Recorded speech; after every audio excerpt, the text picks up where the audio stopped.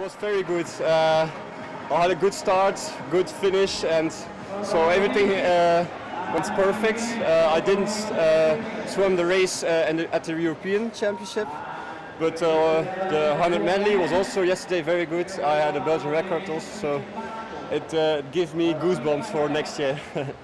Are you surprised how competitive the race was at a Scottish National Championship as opposed to the Europeans?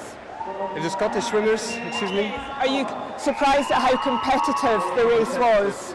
As in, you were pushed very close by Yeah. two of the Scottish swimmers. Yeah, yeah, yeah, they are very good. So the races are very close with the other guys, and uh, I hope it's it's uh, a good race against them. And uh, uh, tomorrow is the 200 meter freestyle uh, uh, against uh, Robbie Renwick.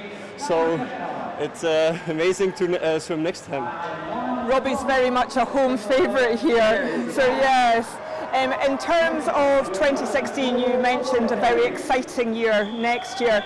How are the preparations going ahead of your trials? Um, very good actually now. Uh, this season I had no injuries or sick or like that. So uh, I'm very happy with, with the races and also training are, are going very well. Uh, last year it wasn't wasn't very good because I was sick. I had a uh, something in my stomach, so uh, yeah, it wasn't very good then. But uh, this year, everything's going perfect.